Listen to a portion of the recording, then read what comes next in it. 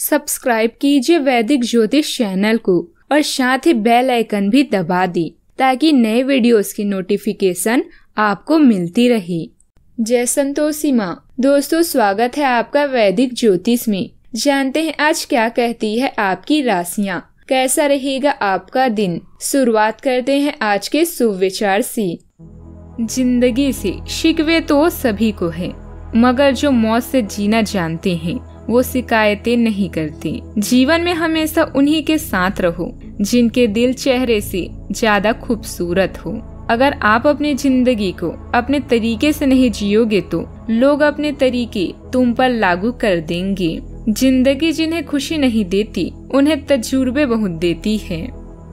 आज का पंचांग 25 जुलाई 2022 दिन सोमवार, सावन मास के कृष्ण पक्ष के द्वादशी तिथि। शाम पाँच बजकर सोलह मिनट तक रहेगी। इसके उपरांत त्रयोदशी तिथि प्रारंभ हो जाएगी। मृग शीर्षा नामक नक्षत्र रात्रि एक बजकर छह मिनट तक रहेगी। इसके उपरांत आद्रा नामक नक्षत्र प्रारंभ हो जाएगी।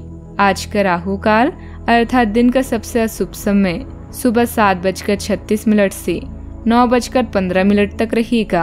आज का भी जीत मुहूर्त अर्थात दिन का सबसे शुभ समय दोपहर बारह बजकर सात मिनट से बारह बजकर उनसठ मिनट तक रहेगा। आज चंद्रमा वृषभ राशि पर सुबह ग्यारह बजकर तैतीस मिनट तक रहेगी। इसके उपरांत मिथुन राशि पर संचार करेगी और आज सूर्य कर्क राशि पर रहेंगी।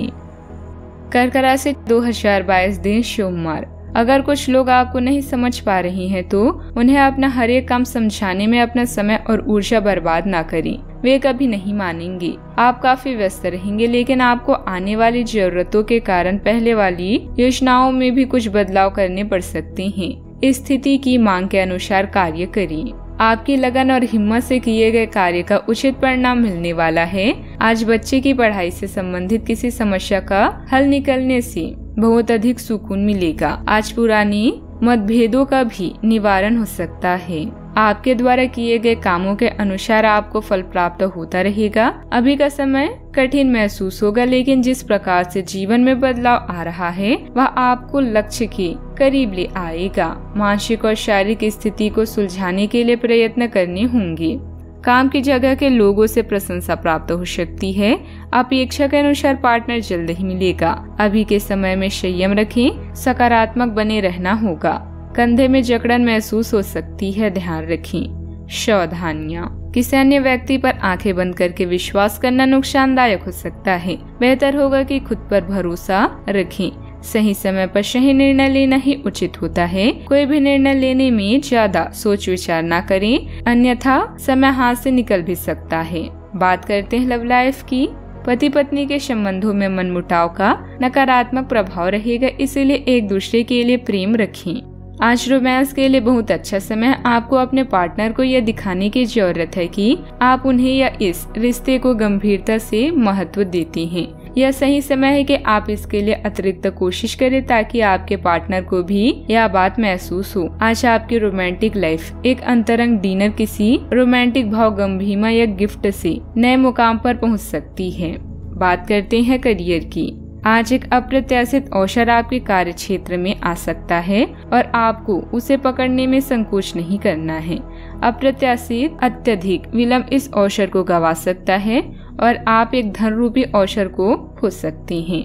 यह अवसर आपको कोई पुराना जानकार या एकदम अपरिचित व्यक्ति भी आपके पास ला सकता है।